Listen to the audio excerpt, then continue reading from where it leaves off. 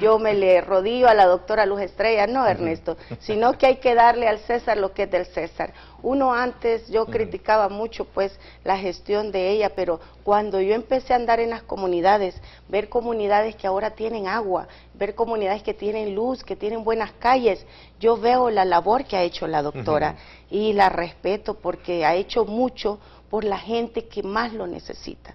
Creo que cuando uno llega a la alcaldía uno debe trabajar por esa gente humilde, esa gente que cree en uno como, como su líder, pues, y ella lo hizo. Entonces, Usted por como, eso la como, como adversaria, no de ella, sino del partido, que ahora desde luego propone un nuevo perfil eh, en candidata, como es el caso de doña la diputada Zoila Quijada, yo creo que eso es encomiable, es de mucha categoría, reconocer que eso se ha hecho y que se puede hacer mucho más dentro de lo que es esa base de proyección que lleva usted como, como candidata por el partido Gana. Veamos, ¿qué, qué- por qué Arena? ¿Por qué Elías Hernández quiere ser, eh, diríamos, el alcalde del municipio de, Apopa, ¿no?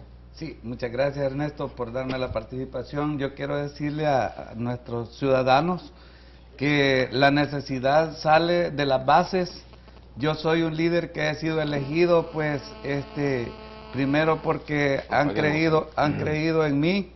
Desde el inicio he, he venido trabajando este, muy humildemente, pues, con los sectores más necesitados. Y quiero decirte que, pues, una de, de- de- de las necesidades que yo siento que el pueblo tiene es que tenga un líder que sea para el pueblo y no que se deba a ningún partido político. Mis objetivos que tengo en este momento fundamental de mi gestión es llevar a Popa a la modernidad, llevar a Popa a un desarrollo sostenible.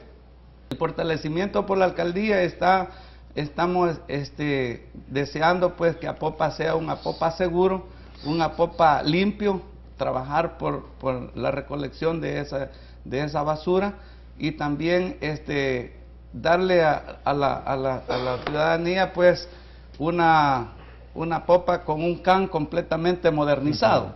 De esta manera, pues nosotros vamos a trabajar de la mano con la alcaldía de San Salvador para que ellos me den la capacitación de los agentes metropolitanos que van a trabajar en nuestro municipio. Ya hay muchos convenios ya con la alcaldía de San Salvador para que unamos esfuerzos y podamos ofertarle a nuestros empresarios de- del Gran San Salvador para que puedan ellos llegar al, al municipio a invertir.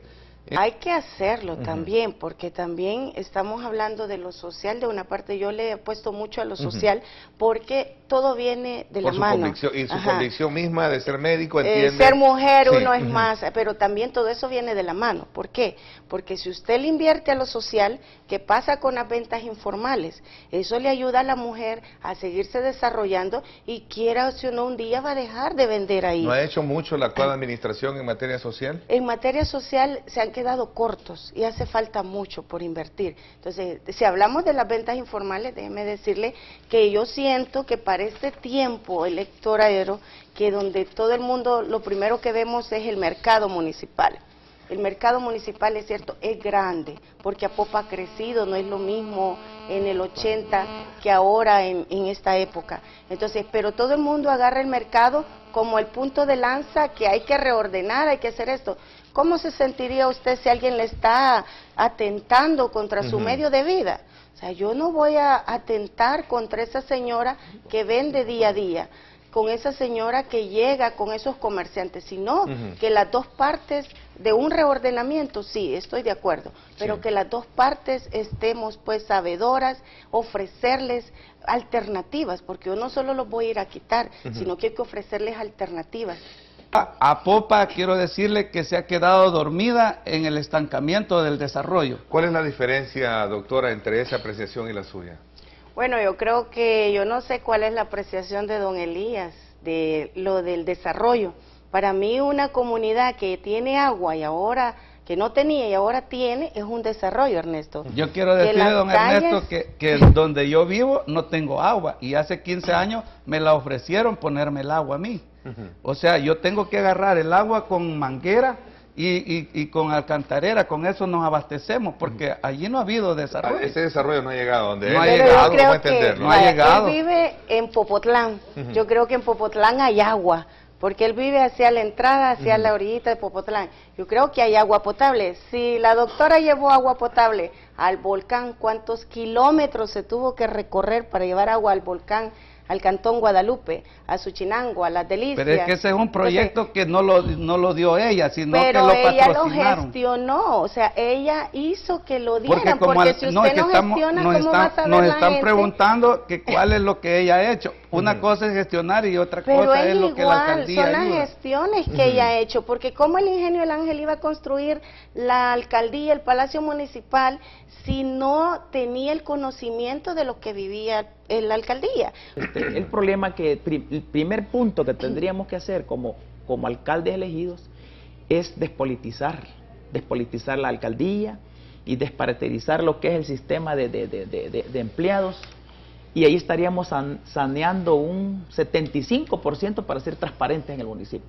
Porque en el momento eh, yo siento que hay más empleados al servicio del partido que al servicio del pueblo y ahí sí nos está, los fondos son muchos, los fondos se desvían prácticamente en política y en obras son bien poco lo que se está haciendo. Entonces yo fuera de cámara oía ese más o menos de comentario y yo sí nunca he creído en los cabildos abiertos. El primer reto como al llegar a la alcaldía sería despolitizar la alcaldía que sea para todos, o sea, una alcaldía transparente, inclusive está en, en plan gobierno municipal, tendríamos que hacer capacitar a los empleados administrativamente y darle un poco, como le digo, de enfoque a que el pueblo, desde que alguien llega a la alcaldía, ya uno no gobierna para los partidos, sino que uno gobierna para los 400 mil habitantes que tiene Apopa.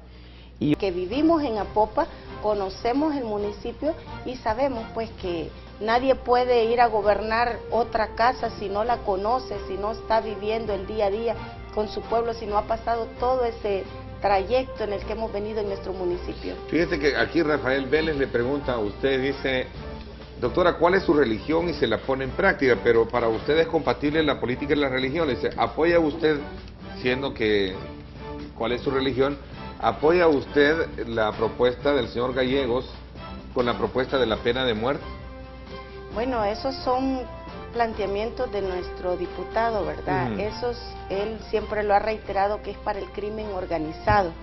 Yo creo, pues, yo creo en un Dios verdadero y le tengo temor a Dios. Y parte de, mi, de mis propuestas, de mis, no propuestas, compromisos con las iglesias es eso, de que haya un libre, eh, que estén predicando la palabra de Dios que el Evangelio se practique en todos lados, que a Popa ahora no se les presta los, las canchas, no se presta los, los bienes del municipio para que puedan hacer sus, sus propios eventos. Entonces, como ciudadana y como sé que un municipio sin Dios no es nada, entonces yo le apuesto mucho y no, mi compromiso no es tanto con las iglesias, sino que mi compromiso es con Dios, porque si yo le digo que voy a dar permiso de que todos los bienes ellos los puedan ocupar para predicar la palabra de Dios, me estoy comprometiendo más que todo con Dios.